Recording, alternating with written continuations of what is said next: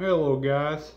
This one comes down to managing what do you do when you've got to open a uh, bottle of champagne and uh, I gotta go get my goddamn knife.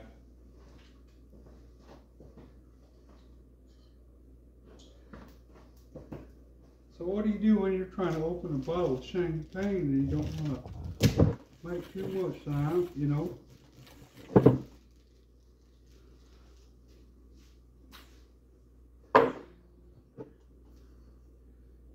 We're going to start off here.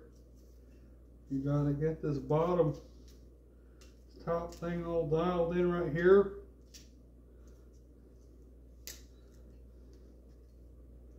That.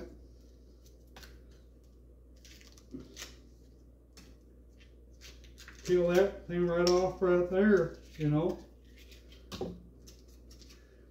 So I have to peel that thing off, you're going to have these uh, two dang wings. You got to pull these two dang wings out. It's just one on this one. Got to put one of these this came out of a guest bedroom. And you just got to keep wanting it.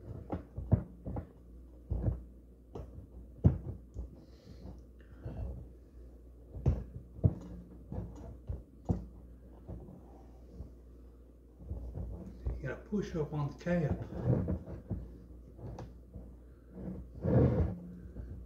How you steer my champagne right there. You gotta push up on the cap. There it was. Nothing to it. Drains all over the cap.